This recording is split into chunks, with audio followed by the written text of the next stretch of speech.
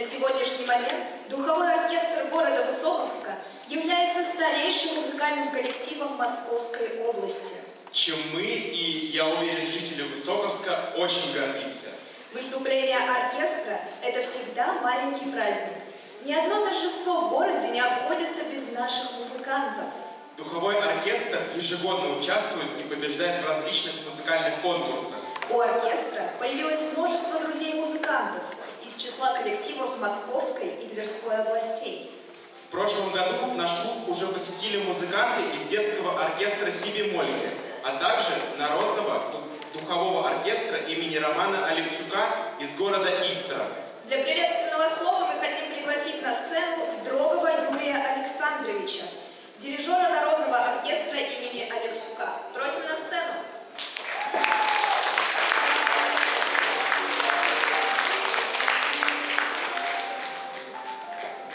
Здравствуйте, дорогие друзья.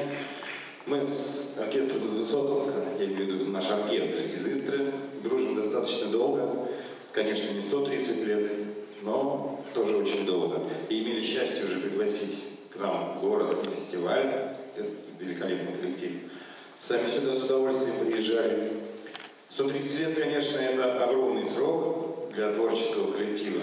Ну и, наверное, очень много уже сделано, но еще больше предстоит сделать. Я желаю коллективу, такому старейшему коллективу, с молодыми, прекрасными участниками, добиваться все больших и больших высот и концертов на лучших площадках нашей страны и за ее пределами. А участников здоровья, всем участникам коллектива, их семьям и близким. Ну и добрый путь. Мы от всей души поздравляем наш замечательный музыкальный коллектив, духовой оркестр город Высоковск и его дирижера Алексея Владимировича Рябова с днем рождения! Все правильно ты сказала. Сегодня свой день рождения отмечает не только коллектив. Сегодня Алексей Владимирович Рябов также отмечает свой день рождения. Именно сегодня Да, вот так распорядилась судьба. Коллектив, которым Алексей Владимирович руководит вот уже 10 лет, образовался в тот же день, в который он сам и родился. Мне кажется, это достойно аплодисментов. Ну и какой же день рождения без подарков? Действительно, для этого приятного момента мы приглашаем на сцену директора культурно-досугового центра города Высоковск Анисимову Ярославу Станиславовну.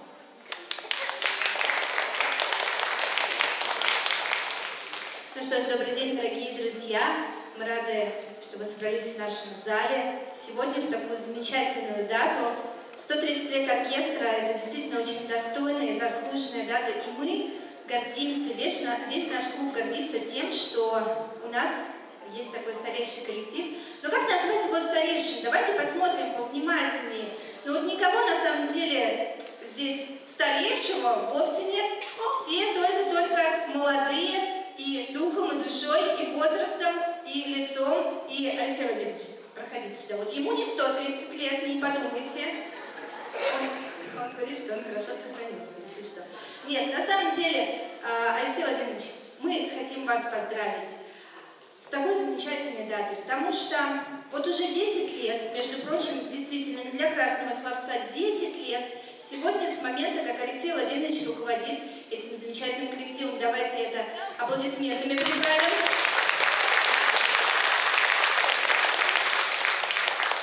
Мы желаем вам и вашему коллективу, тем более, что все так красиво совпало, и руководитель, и коллектив а, начали свою жизнь с этой красивой даты.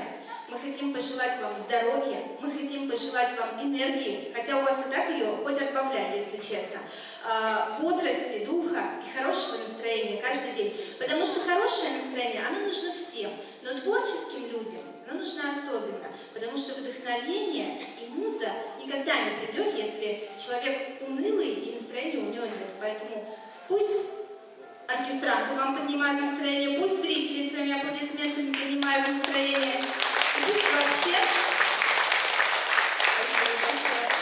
И пусть вообще на каждый день действительно найдется повод для того, чтобы порадоваться и повеселиться. Ну, а какой же день рождения без подарков? Можно пригласить мою очаровательную помощницу Анастасию. Да, Александр Ильич, вставайте в центре, чтобы было очень красиво. Можно я зачитаю? Недавно был День работника культуры, наш профессиональный праздник, поэтому мне бы очень хотелось Алексея Владимировича от лица директора централизованной клубной системы Юлии Владимировны Черняк поздравить и наградить благодарственным письмом а, за добросовестный труд, активное участие в мероприятии городского округа Клин и территориальных поселений и в связи с празднованием Дня работника культуры. Это вам. Но это еще не все. Юлия Владимировна не пришла с пустыми руками. Она передала вот такой вот замечательный сертификат Духовому оркестру города Высоковск на приобретение музыкального оборудования на 100 тысяч рублей. Это тоже вам.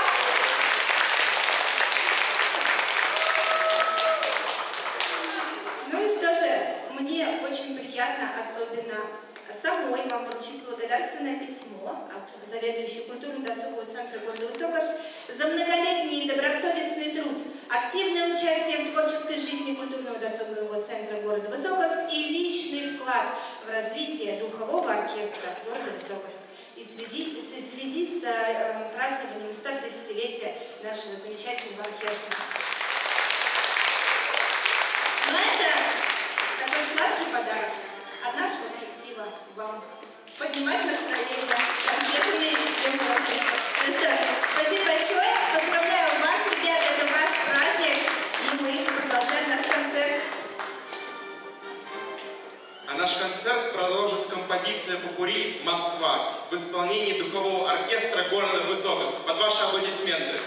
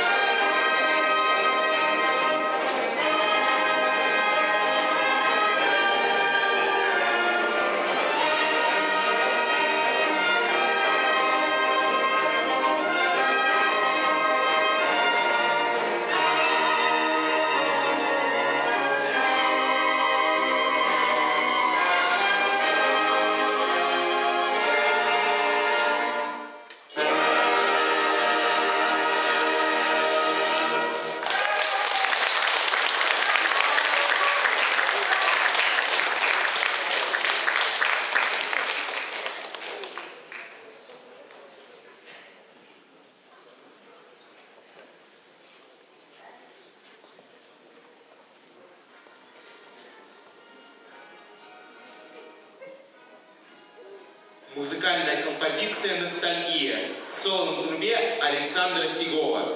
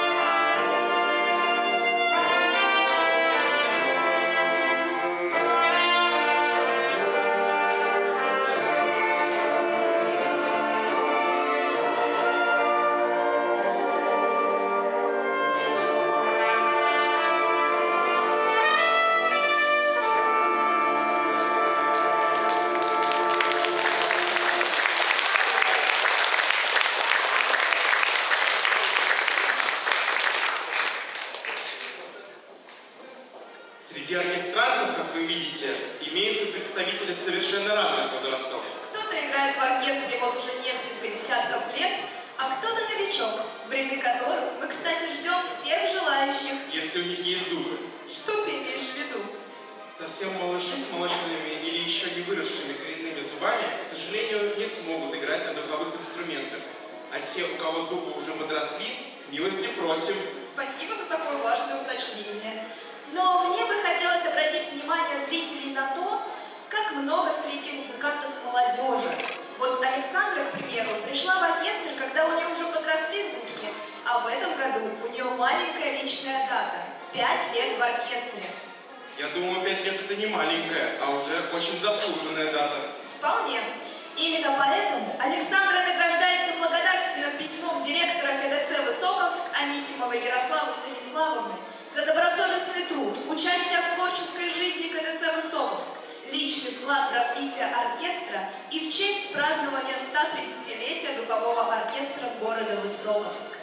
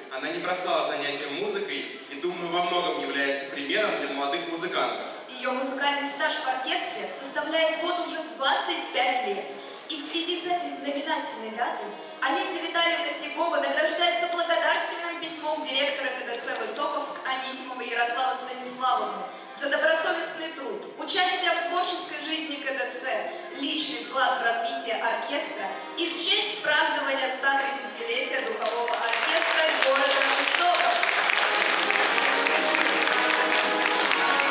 Алиса Витальевна, вам слово. Трудно ли э, столько лет уделять музыке, или вы наоборот испытываете удовлетворение, занимаясь любимым делом? А, Здравствуйте. Я учусь в университете, так вот отклоняюсь, отклонюсь немножко от тематики нашего концерта. А, Получаю второе образование. Первое у меня образование бухгалтер в строительстве, второе внеклассное образование пожизненный музыкант. И сейчас я учусь на психолога, и на первом курсе я написала статью в научный журнал о влиянии музыки на психоэмоциональное человека, э, состояние человека. И э, отсюда назревает мой ответ на твой, Никита, вопрос. Музыка — это часть моей жизни, это часть души, она мне помогает отвлекаться от обыденных вопросов, от ежедневных проблем, от работы. И я просто подпитываюсь энергией, находясь вот здесь, среди музыкантов. Спасибо всем музыкантам, ко- ко- участникам которых, которые помогают мне ежедневно черпать эту энергию. Поэтому нет, это не сложно, это часть моей жизни, это просто нужно любить.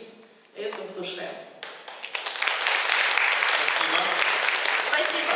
Я с нетерпением объявляю музыкальный сюрприз. Дело в том, что Александра Сигова вместе с другими музыкантами из оркестра основала брас-бенд под названием «Спутник». Это как у нас спутник Земли? Совершенно верно. Ребята старались вдохнуть в репертуар оркестра свежую струю. Да и вообще просто обогатить его теми композициями, которые им нравятся.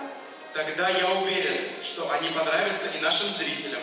На сцене брас-бенд «Спутник».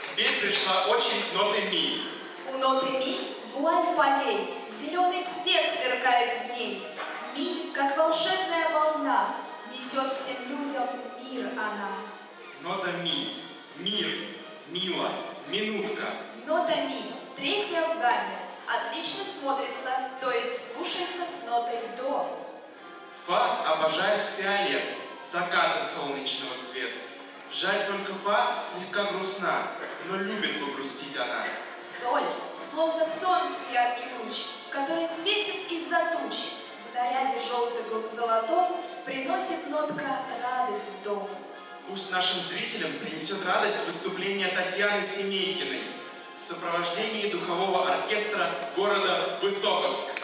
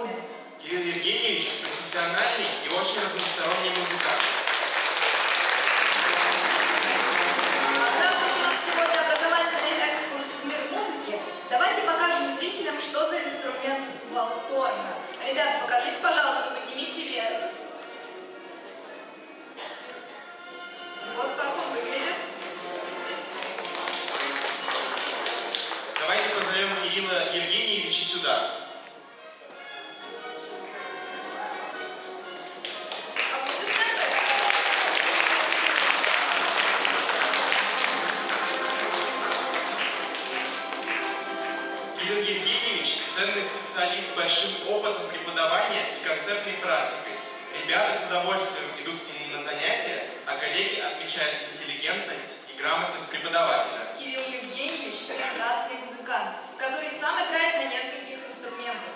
К примеру, весь клуб заслуживает, заслушивается, когда он играет на рояле. Благодарственным письмом директора КДЦ города Высоковск Анисимовой Ярославы Станиславовны за добросовестный труд, участие в творческой жизни КДЦ города Высоковск, личный вклад в развитие оркестра и в честь празднования 130-летия духового оркестра города Высоковск награждается Кирилл Евгеньевич Котовин.